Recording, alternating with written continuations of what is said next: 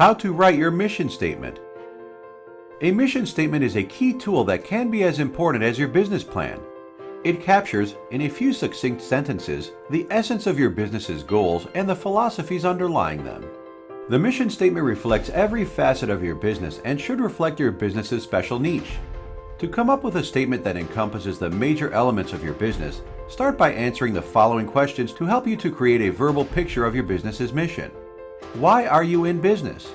Who are your customers and what can you do for them? What image of your business do you want to convey and how will you create that picture? What factors determine pricing and the quality of your products and services? What makes your service so extraordinary? What roles do you and your employees play? How do you differ from your competitors and can you use their weaknesses to your advantage?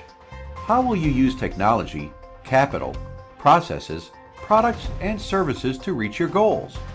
Going through the process will help you solidify the reason for what you are doing and clarify the motivations behind your business.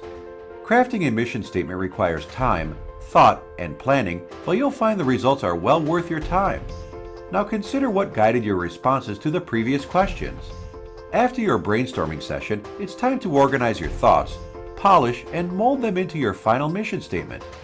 Set a final decision date and set aside time to work on your statement. Utilize the resources around you by bouncing your ideas off friends, family, and other professionals for extra perspective.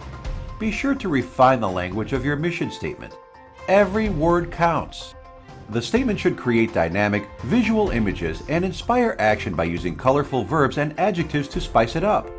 Once your mission statement is complete, start spreading the word to show everyone you know where you are going and why.